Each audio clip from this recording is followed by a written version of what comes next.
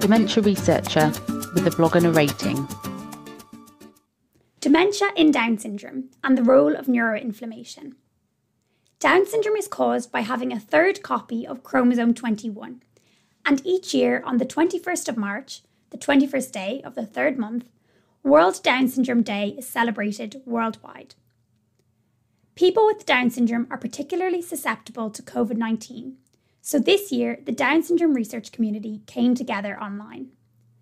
With participants from research studies, their families, and friends, we discussed current research advances, offered advice from specialists, and celebrated Down syndrome. Down syndrome is the most common genetic cause of Alzheimer's disease. However, few researchers study dementia in this context. Here, I want to highlight my research in this field and explain the importance of the inclusion of people with Down syndrome in Alzheimer's research. But why do people with Down syndrome develop Alzheimer's disease? The gene APP, or amyloid precursor protein, is located on chromosome 21, and so people with Down syndrome inherit three copies of this gene. When APP is cleaved in the brain, amyloid beta accumulation occurs, a key hallmark of Alzheimer's disease pathology. In the case of Down syndrome, this gene is termed dosage sensitive, meaning that an extra copy of this gene results in extra protein production. This causes an increased downstream accumulation of amyloid beta, initiating the cascade of events that ultimately cause dementia. Not only does this mean that virtually all people with Down syndrome develop Alzheimer's disease, but this occurs decades earlier than in people without Down syndrome. In fact, the earliest signs of intracellular amyloid beta accumulation have been seen in fetuses and young children with Down syndrome. Further evidence for the causal role of APP in Down syndrome dementia is seen in rare familial mutations, whereby three copies of APP alone are inherited, resulting in Alzheimer's disease. Additionally, partial trisomy of chromosome 21 without APP in three copies results in Down syndrome phenotypes but not Alzheimer's disease.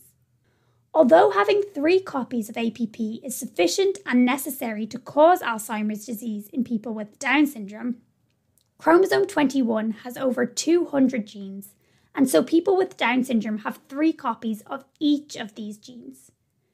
This leads to a wide array of conditions across multiple body systems, including the immune, cardiovascular, endocrine, and nervous systems. A lot of preclinical Down syndrome research focuses on trying to identify candidate genes that, when in three copies, can cause these phenotypes. To achieve this, mouse models are often used, which have three copies of some chromosome 21 orthologous genes. Using such models, our lab has shown that there are genes on chromosome 21 other than APP that can modify amyloid beta deposition and other aspects of Alzheimer's disease pathology.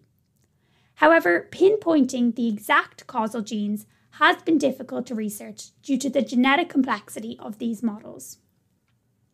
One method to combat this is to generate mouse models which have three copies of chromosome 20, 21 orthologs, but only two copies of a candidate gene of interest. This and other similar strategies have implicated DYRK1A, a kinase enzyme, USP25, a deubiquinating enzyme, as well as APP, in contributing to Alzheimer's disease pathogenesis in Down syndrome. Other candidate genes are also currently being considered by our lab, particularly those which may play a role in neuroinflammation. Neuroinflammation is now understood to contribute hugely to Alzheimer's disease progression.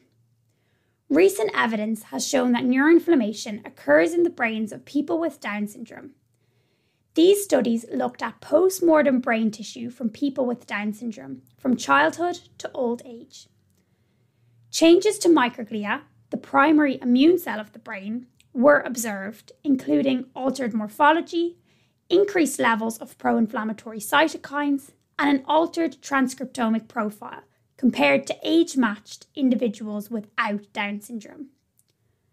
Why and how this neuroinflammation is occurring is unclear, but as with most Down syndrome phenotypes, it is likely that having three copies of chromosome 21 genes is central to this. Neuroinflammation is evident in a mouse model of Down syndrome which has three copies of many chromosome 21 orthologous genes, indicating that one or more of these genes are causing the phenotype. My work, as well as other projects in our lab, are focused on understanding the cellular and molecular mechanisms of these neuroinflammatory phenotypes, with an emphasis on raised pro inflammatory markers and microgliosis.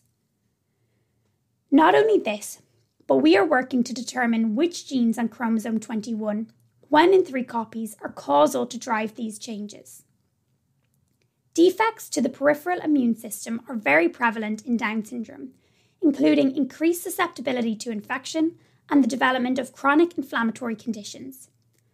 We would like our work to disentangle the role of peripheral versus central changes in driving the neuroinflammation.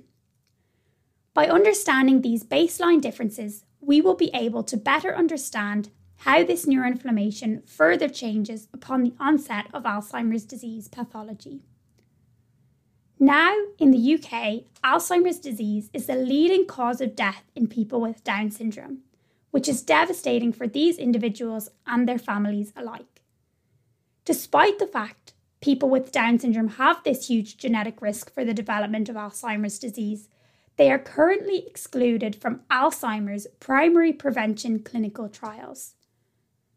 About one in a thousand babies are born with Down syndrome in the UK, making Down syndrome a greater risk for Alzheimer's disease than all autosomal dominant early onset cases combined. More and more data are emerging on Alzheimer's disease biomarkers, progression, and diagnosis in people with Down syndrome. Hopefully, this evidence, as well as those advocating for inclusion, can lead to the consideration of people with Down syndrome for both Alzheimer's disease clinical trials and potential therapeutic targets very soon. Thank you for listening. Join the Dementia Research bloggers and share your own views.